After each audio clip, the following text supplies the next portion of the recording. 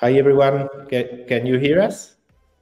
So maybe we will wait five minutes for some more people to, to join and then we can get started. Thanks for, for coming. Okay, we can start in two minutes. So, hello,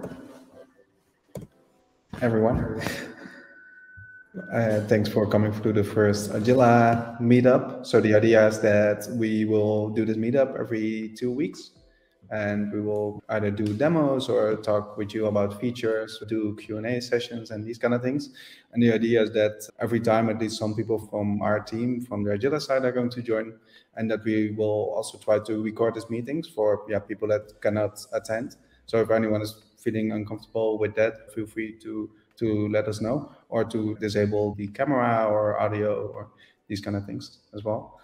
Also, we wanted to have this recurrent meeting, so also sending invites to your emails. And that's also why we had the marketing consent turned on. So if anyone has decided not to do the marketing consent due to other marketing sales reasons, feel free to reach out and, and just send in a Slack that you want to get this email about about yeah bi-weekly meetup for Argilla.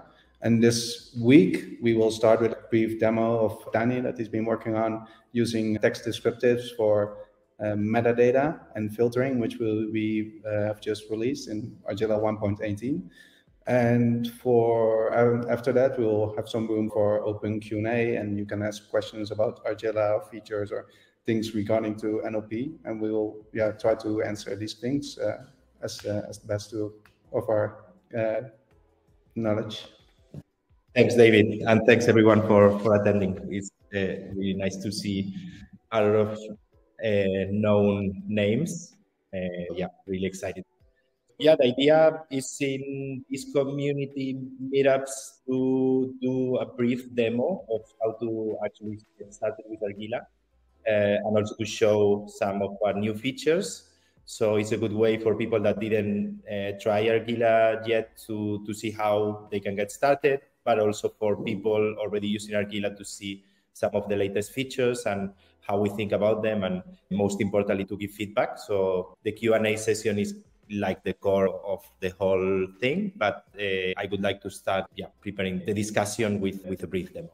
So I will go to this Colab. So essentially what we will do is to install the libraries that we need for this use case. As David mentioned, we want to show how to use the new, the new metadata filters and sorting features for the feedback task. And to do that, we're going to use a library that we highly recommend, which is called Text Descriptives. Uh, it's built on top of spaCy.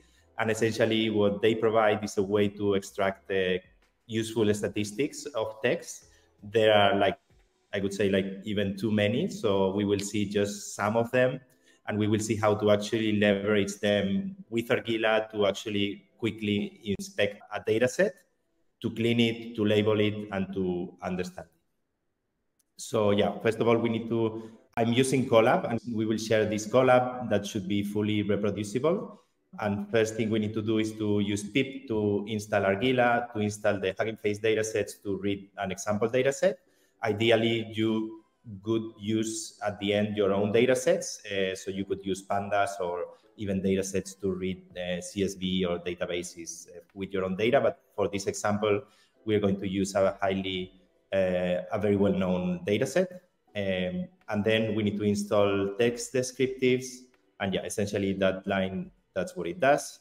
So I know some of you are using already like your own self-hosted versions of Argilla, but for those that didn't yet try the tool, the easiest way is to use the hub with the new, not new anymore, but with this integration that we have that essentially allows you to deploy a quick start version of Argilla.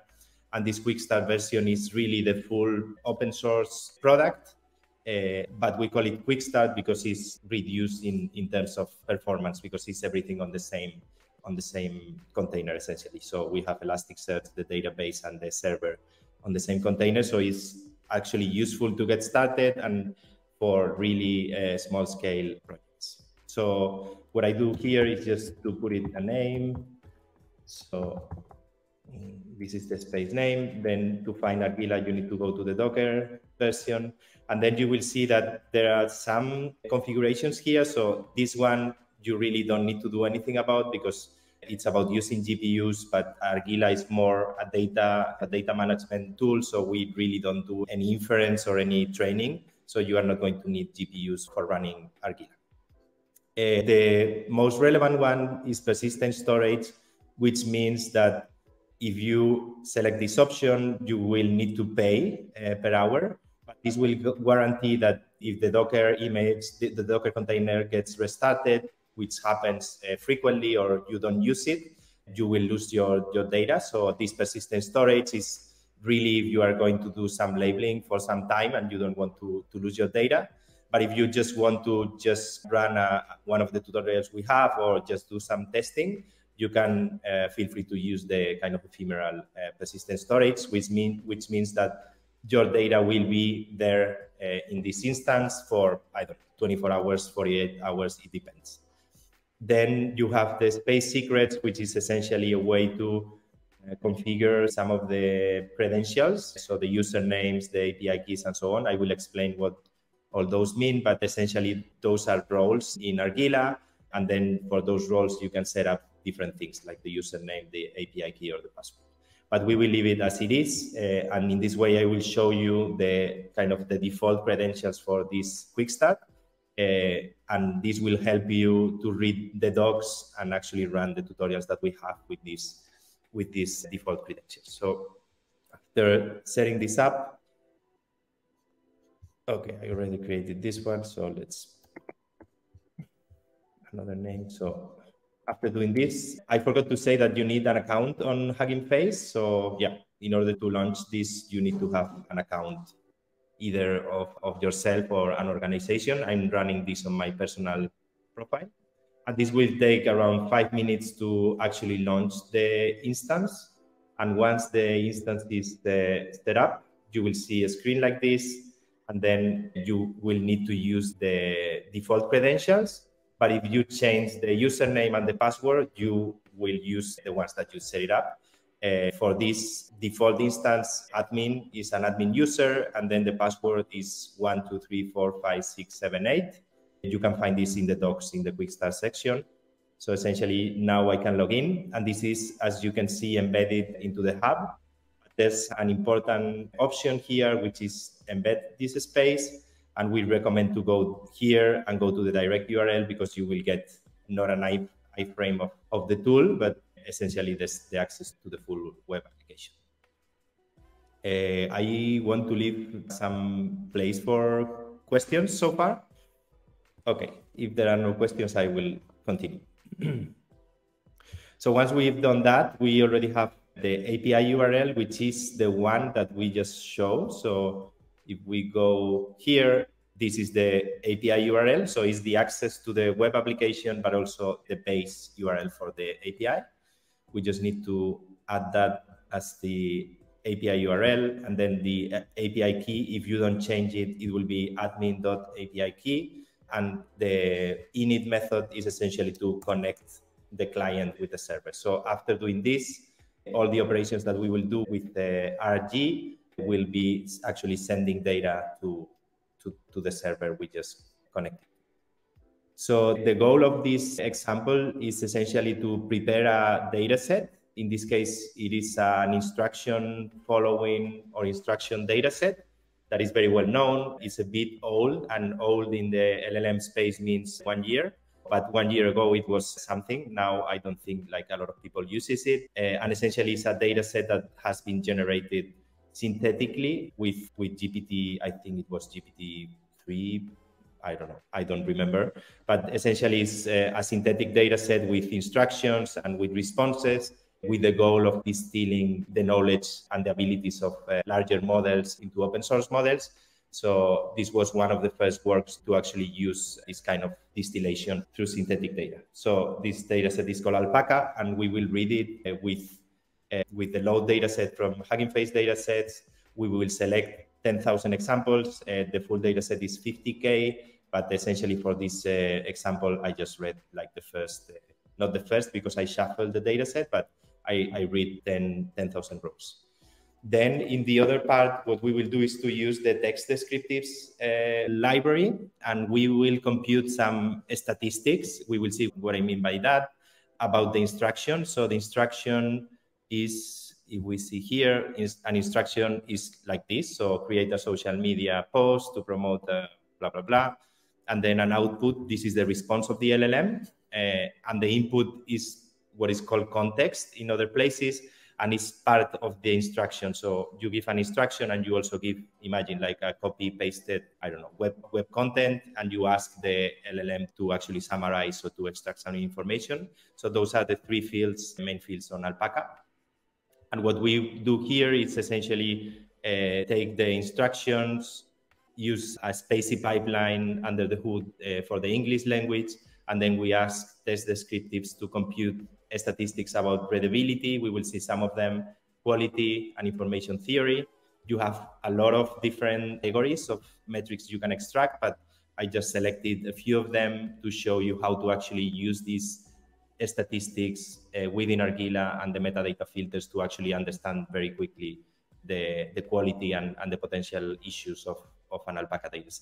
So we do the same for the output. Essentially, what we do is to generate two data frames with these metrics.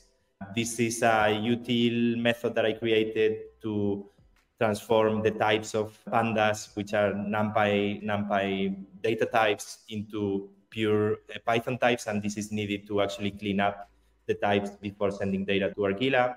We do plan to provide these utils within the library, so you don't need to write your own cleanup if you are using pandas. But essentially, this, this function, what it does is to transform the data types into something that is uh, pure Python. So Argilla won't complain when you send the data. So if we see like the first two columns of the instruction data frame that we have a ton of different statistics. Some of them are related to how long is the text, uh, how many sentences, uh, and others are related to readability. So essentially some uh, metrics uh, that have been developed in the past years to actually try to take a text and uh, give a score of how easy or difficult to read is. For example, for code uh, instructions and code outputs, probably the readability index of this kind of like more traditional metrics will not be so useful. But as we will see, it will be useful just to find this type of uh, examples. So what I do is to essentially take some of them. So because I didn't want to overload the metadata filters, I took some related to the length of the text, uh, a quality check. That is something that uh, text descriptives does by combining different metrics. And essentially it will tell you if, if the text is like uh, high quality or not. We will see that this is not always the, the case and it is not always useful, but it can be an indicator of, of, of the quality of the text. Essentially, I show here the values that we have for those.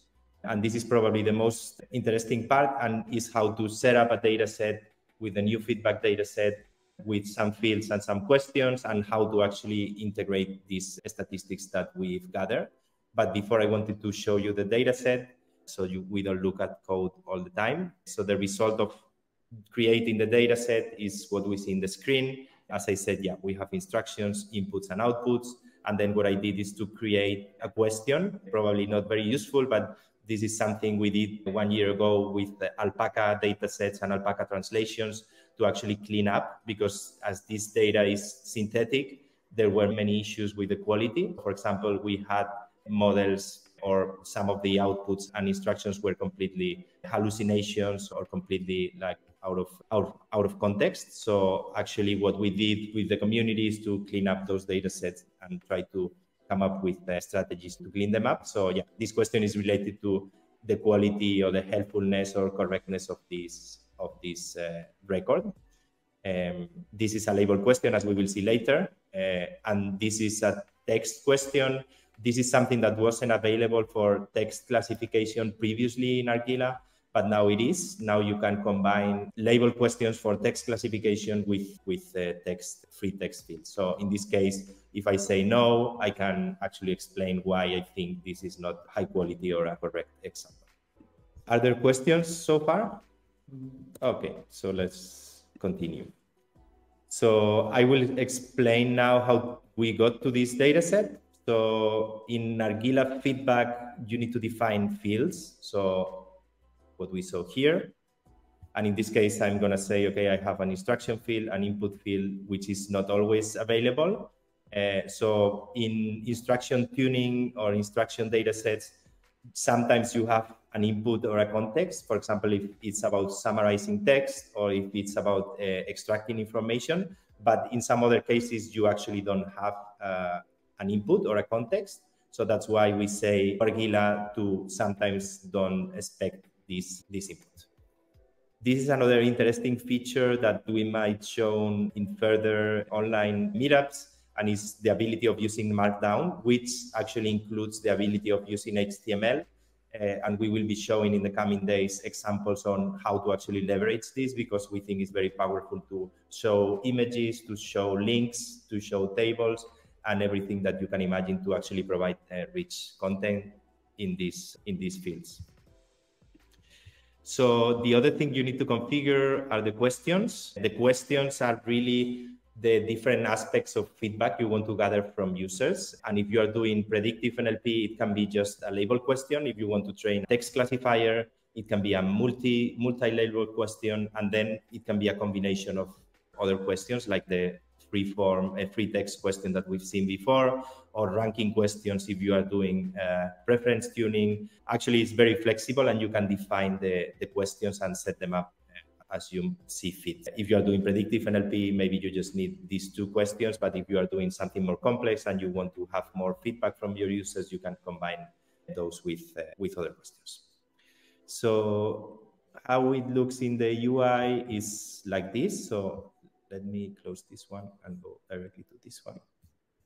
So in the UI, the questions are shown here and it can be, they can be edited here. So we provide some yeah some configurations for this. So imagine you make a you misspell some of the the titles, or you want to change the input to accept the, or use Markdown. You can do it here, and the same for the questions. And we think like the questions is highly important because as you go and get started with labeling or a feedback collection project, you might uh, get you might receive comments from your labelers saying, okay, this question is not so clear could you please clarify so you can change the title, which is what we show on top of the question, and you can also provide more context in the description. So, for example, if we start adding this, that we will be adding what's this name? Sorry, yeah, a pop-up or uh, yeah, yeah, a pop-up. So essentially, here you can explain your users, provide more context about how to actually label. The other important part is the uh, annotation guidelines. They accept Markdown, so you can provide very well-defined guidelines and the users they can actually see them when they are annotating to check if they are actually understanding the task. So if we move forward, we have the metadata properties. So this is new from, I think it was yesterday's release, point 18, and it's a way to define metadata properties.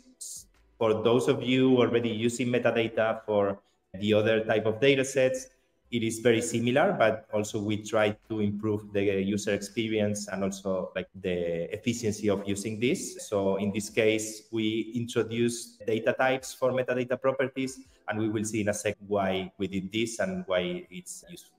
So essentially what I do here is to create different metadata properties of different types, integers, terms, which is a list of strings and floats. And I create one of them for each for each field. I'm not using the input field, but I'm interested in the instruction field and the output field. And essentially, I will add the each of these statistics for the instruction and each of these statistics for the output. So once we do this, and by the way, uh, in the previous release, we introduced uh, task templates because as you can see, this can get hard to configure. So for text classification, for different use cases related to text generation or LLMs, you can actually use task templates, which uh, are much more easy to, to configure because you just need to say, okay, I want a feedback data set for text classification, and you don't need to set up everything. You, if you want, you can further customize it, but uh, you don't need to write down all this code. So in the next line, what I do is to instantiate my data sets with the fields, questions, and metadata properties. And then in this part, I start adding records. So I create a list of feedback records with the instruction coming from the uh, Hugging Face dataset and also from the metadata, which uses the data frames that I created, the instruction and the output one. And I create essentially, this is a dictionary indexed by, the, by these keys. So after doing that, there are two ways to actually arrive to this. So the first one is actually start adding records to your local dataset. So at this point, you haven't added anything to the server, but you can start adding records and this will add the records to your local instance of uh, the dataset. And then you can actually push this data to Argilla together with the records. The other way to do it, and this is something that we introduced not, not so long ago, is this idea of remote data set. So once you push a data set to Argilla, you will get an, a new object that is a remote data set. Every operation that you do, like adding records, it will be synchronized with the server. So in this case, what I do is to essentially create an empty data set in Argilla that is called Alpaca Community and in this workspace. Uh, and that will give me this data set but without records. And using the remote data set object, I will add records. So when I do this operation, the records will be sent to the will be sent to the server. And I wanted to just show you how to use the new metadata properties that we have created. And with that, I think we can go for Q&A and, and discussions.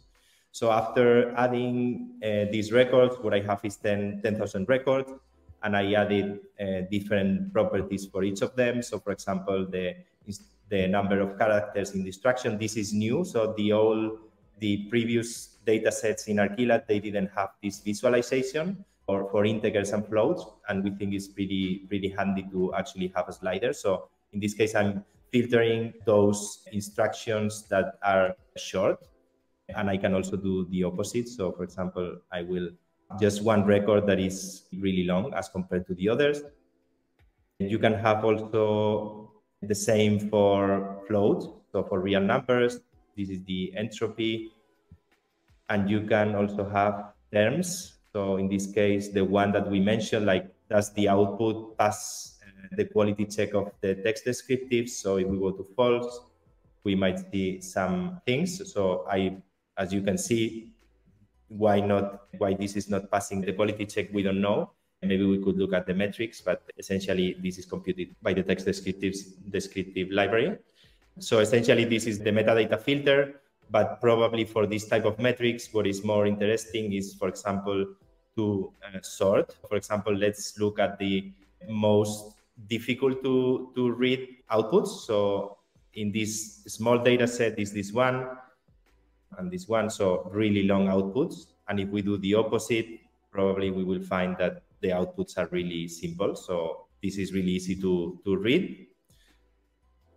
And you see how short they are. Another thing we can do is to actually use the number of characters of the instruction and see very short instructions. And as you will see, most of them are related to, to mathematics. So the idea is that with these filters, you can quickly zoom in into the data set uh, and actually clean it up or label uh, what you want. Uh, and yeah, I wanted to, to show you this, this new feature and I think I didn't forget anything. Yeah, thanks. Thank you, Danny. And I saw there were some questions already coming in. So feel free to, there's this Q&A box, feel free to provide some questions. In the meantime, I also added this like form for Google Forms, and you can uh, actually provide some feedback and actually request for the following meetup if you want. Danny, so the first question that came in was a question uh, about from Yese Avezia uh, about the differences between owners, admins, and annotators. Very good question. So the, the difference between owners and admins is that the owner is like the super user and it can actually do everything with the settings. So it can create users, it can create workspaces, it can create data sets, so everything. The admin uh, has similar rights, but they are limited to the workspaces. uh, that, that this admin has been assigned to. For example, an owner can say, okay, I want an admin for this project because uh, this will be the person actually handling the data sets and the and yeah doing the configurations and so on. The difference between owner and admin is a way to actually have kind of admins per workspace. Uh, and the admins and the owners can actually yeah, do mostly everything. They can they can configure the data sets as we saw in the settings, and they can actually use the Python SDK to upload data, update data, read data, and so on. And the annotators, uh, the idea is that they have limited rights to, to change the settings, and they have, of course, limited rights to create data sets and do and add data to, to, the, to them. So I think recently we added a table to explain this. I don't know if that was included already or not. So maybe I can show you in the docs. I think should be under user management. Yeah, so we added this uh, small table uh, where we summarize the different rights that you can have for, for users. Yeah. Did that answer the question? The next question uh, was if you could share the notebook or the URL to, to the Colab. I will. Perfect. Then there was a question about uh, showing how to apply weak labeling rules programmatically through the Python SDK, but this one I already answered. And I think for follow-up meet meetings, uh, if, if people actually want to discuss specific topics, uh, feel free to, to, reach out and we can actually prepare for these kind of things and ensure there's a comprehensible notebook. And uh, feedback is always welcome. Then a question from Moritz. What are going to be the main new features and priorities for Argilla that we are working on? So I think one of the main things that, that we are actually working on is that we had all of these cool features from the old data sets. So the data sets for text classification, token classification, and text to text, like semantic search, like the metadata filters that we've just uh, added to the feedback data set.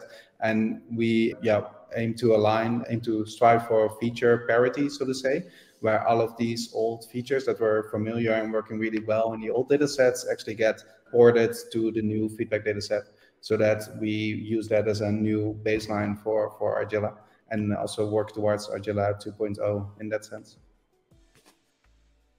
Is that clear, Moritz? And on top of that, Danny also opened the Argilla roadmap where you can have a look at all of the specific things that we will work on and you can actually contribute and give feedback there as well. And we will try to take to the, that into account into the scoping when we're working on those. Then Argilla is a really cool tool and everything is free. And uh, how are we planning to monetize that in the medium term? And do we have a roadmap for that? I think I'm gonna pass this one to, to Danny. Cool. So the, the question is, how do you plan? How do we plan to monetize? Yeah, so we have actually a commercial product that is called Argilla Cloud, and right now it's a SaaS version of the open source, so no extra features. Actually, we have already paying customers, and we have the pricing, at least the different subscription plans available in the website. Maybe I can show you, but the plan is essentially to provide a cloud version of the product that is actually following this open core model where we make the core open source and very useful for everyone and then we start adding enterprise features for really large teams or, or people that actually need extra features that are not useful for for normal practitioners or even small businesses. So the model will be a SaaS plus deployment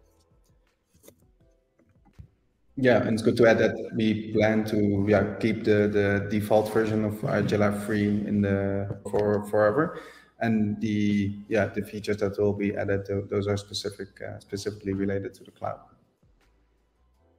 Then where does the name Argilla come from? So yeah, the, the name comes from uh, clay in Latin, Italian, and even in, in Catalan. And this, uh, this idea of clay came from that we think like data is is a way to give shape to to, to models. So we really like this idea of something that is uh, related to arts, to humans, and to actually building tools. Because yeah, clay has been one of the most ancient ways of actually building tools for humans. So the advantage of paid Argilla over tools like SnorkelFlow. So there are many differences in terms of features and the product. I think we we focus on different use cases. For us, it's always been more about this fusion between AI teams, data teams, and humans in the loop. While we have we have some programmatic features that hasn't been like like the main core value of Argilla. The main core value of Argilla it's been really involving human experts in the process of building tools. And another difference is that we've been focusing with extreme focus on integration with uh, other tools in the community and a extreme focus on MLOps and NLP. Uh, and that means that uh, it's really easy to get going if you're using spaCy, Hugging Face, and others. So I would say like Snorkel Flow is a larger platform that you really need to justify to actually deploy like a company wide, while Argilla is more like an MLOps component you can get started with. And what we see in many of our users and customers is that you can get started with some use cases and then you can actually scale that up. While I think other uh, more end-to-end platforms uh, really about an integration of this platform into the full uh, process before even getting started with with it yeah, that's my my main explanation for that. Yeah, that's a very good question. So we don't have any certification so far, but we will be starting to look at them next quarter, so Q1 next year, in order to have some data security and data privacy certifications to ensure that the data is, is kept pri private. But we know that for certain institutions and organizations, that's not enough. As I said, we have one version of Argilla Cloud that can be actually deployed on, on virtual private clouds. So actually the data will not leave the, the perimeter, the cloud perimeter of, of the user and the customer. So does anyone have any follow-up questions? Otherwise, I also have a brief presentation about making the most of Markdown. So if nobody has anything else, perfect. Okay, so what I have been uh, working on lately, or what we've been seeing with the like the new feedback data set, is that yeah, besides and also with LLMs, is that besides all of these cool basic text things that all of us love, we are also seeing a lot of these more HTML and, and uh, HTML rich content that's being fed into to LLMs and to NLP processes. And one of the things that yeah we can actually do with the feedback data set and with the fields from the feedback data set is actually include all of these HTML content in our markdown within the text fields of, of Argilla. And that's cool. And I tried to start to play around with that and actually came up with this notebook to show you how to exploit Displacy for like dependency visualization, NER visualization, and also like SpanCat visualization, which is included in the Displacy library. How you can actually add images, video, and audio to Argilla. Small note, it's uh, kind of limited because we do edit directly within the browser. But for really basic text and token classification, text and video and audio classification use cases, or just to add some additional context to your processes, it's quite useful. And to actually extract tables and figures and these kind of things and add them uh, to your feedback data as well. So what we will actually be doing is we will, we will be installing some libraries, Argilla 1.17 still, data sets. On top of that, also Unstructured, which is a, a library that we can actually use in combination with like unstructured data that we can later on add to, to like process PDFs, process JSON files, process XML, and all of these like huge data sources that that are familiar to the finance finance uh, field and also the banking field. And on top of that, we'll be adding spaCy and spaCy transformers, Pillow, Span Marker, and some sound and, and files to be able to load sound files. And we will be downloading our basic spaCy model, just a small one because it's a demo. So install this. Then what we will do is actually initialize Argilla, similar to what, what Danny did before. And we'll be importing all of the things that we need later on in the process. Then after that, we will get yeah into the coding. So Displacy is actually a library from spaCy that under the hood is actually using a lot of formatted HTML to enable in order to be able to visualize things like NER. And instead of the basic spaCy NER model, I will be using one of uh, Tom Aarsen's uh, span marker models, which is a, a, really cool library that actually speeds up and training for NER models. And also ensures yeah, uh, state-of-the-art results on a lot of these NER benchmarks. You can actually yeah, look at the documentation and uh, I'll be using a FEWNerd fine-tuned model, which I which is a data set that I really love. And the FEWNerd data set is actually have more fine-grained representation of the more common NER things where for example, a person is not only classified as a person, but as a yeah, subcategory of the person, like actor, artist, author, and these kind of things.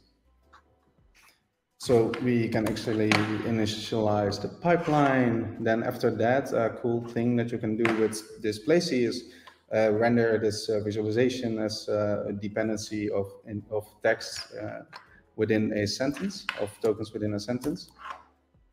Uh, what you can also do is when you load this model and then do display render, actually visualize the text as an overview of the entities in the text. And the nice thing is that this is all HTML and it can actually be added to the feedback dataset.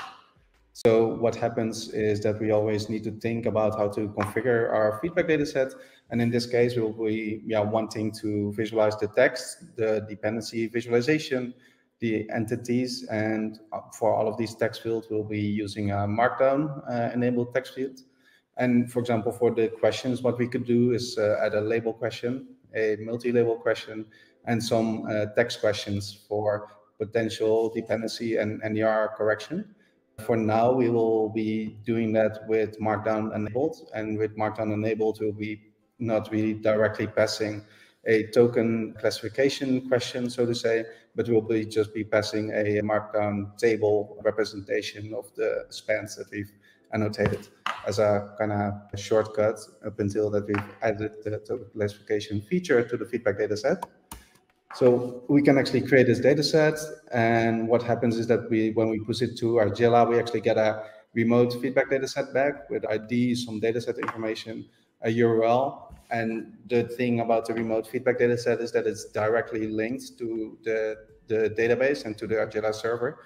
So all of the changes that we make directly get represented in the in the server as well. Then, as an example, what we'll be doing is actually load the FEWNerd dataset, uh, which is the same dataset that's been used to train the model that we've loaded and added to the spaCy pipeline. Next, what we do is actually wrap some of this HTML into a max width component to ensure that it doesn't get too wide and we can actually scroll in there. On top of that, we will be creating some token, some text out of the individual tokens in the dataset, and we'll be processing each one of these texts as uh, spaCy documents. Then when we'll be looping through each one of these documents and actually creating these feedback records. Within the records, what we'll do is we'll add the text as default string. We'll be rendering the dependency as HTML, and we'll be rendering the entities obtained from the spaCy doc as HTML as well. And we've set Jupyter to false uh, to ensure that we actually get an HTML string back and not uh, render the visualization in Jupyter as, as shown above. And on top of that, we will be adding these uh, these answer suggestions that we provide as initial suggestions within our UI to showcase like these tables about uh, the dependency classification and the NER classification. And the nice thing is that when adding records, there's something going wrong. Let's see. Maybe I can use the for API. So maybe if there are any questions in the meantime then maybe Danny can answer those while I'm fixing the. You should join the stage. Okay, I fixed it. And I will share my screen again. So the what I did just to showcase is yeah, initialize to our running deployment and then actually set the workspace to recognize and create the feedback dataset again, load the FEWNerd dataset, and then push the records to Argilla. So the nice thing that we can see here is yeah we, that we actually end up with this data set where we have the text, the dependencies, and the entities actually visualized within our GitLab feedback data set. And what we also see here is that there's this uh, suggestion highlight where we can later on correct for the text and also uh, correct for like the NER thing. So for example, if this wouldn't have been Paul, but just uh, Paul International Airport, but instead just Paul, you can actually add like some feedback here already for NER classification. Um, and next thing that I will show you is actually how to add these multi-modalities or audio, images, and video to the Argilla dataset. And that's actually what we will be doing with uh, data URLs. Uh, data URLs are a way to encode binary data into a string. So we'll have this uh, B64 encoding to do that. And then later on, as you can see here, is that you can actually add each one of these data URL in, into your, your common well-known HTML. We have these kind of things for video, for audio, and for image as well. And these are three yeah, functions that are defined in order to load a file path, then load the data from that path, actually create an encoding, get the file type from that path, so use Pathlib to do that and then eventually get the last part of the extension for the file. And then I'll be creating these uh, data URLs and we can do that for yeah, video, audio, and, and images.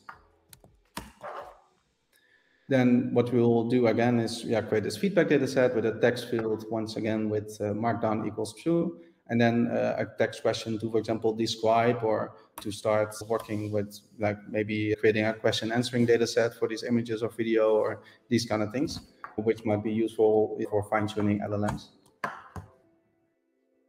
So once again, we've created this data set. I added to this repository, which I'll share afterwards. I added some example data for PNG, MP3s, some snapshots from MP4 files and I'll be loading those as you can see and be adding them as, as records.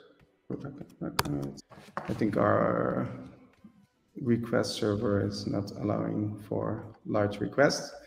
But then eventually what we end up with is this overview of like content where we have this audio in uh, the data set and we can actually describe. So hello. Then go to the next one and to the previous one where we have a similar experience. And it was the way to yeah showcase how, how we might add this uh, audio and images to our feedback data set records. And we also have this uh, overview to use the same approach with audio classification and with uh, image classification data sets directly from the hub and yeah, I will, I will share the notebook and you can play around with that to, to yeah, showcase how that might work.